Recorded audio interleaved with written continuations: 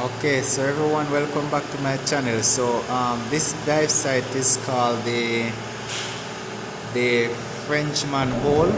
Um, I also call this dive site Golden Gate. So um, today we'll be diving the smallest possible hole. As you can see right there, it's very very narrow. So um, if you're if it's your first time diving, this dive site is like say 30 uh, 30 feet deep, so it's very shallow. So as you can see right there, um, it's a very narrow area. So if you're one of those persons that easily get nervous or scared of tight spaces, then this dive site is not recommended.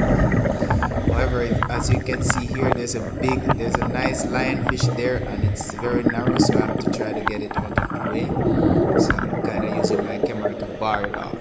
So yeah, if that thing juke you, you can be in pain for weeks. So that's one of the most dangerous species of fish you can ever come across while scuba diving. So as you can see, very beautiful dive site, very narrow hole, the narrowest um, hole I've ever been through while scuba diving. So um, yeah, I hope you enjoyed this video.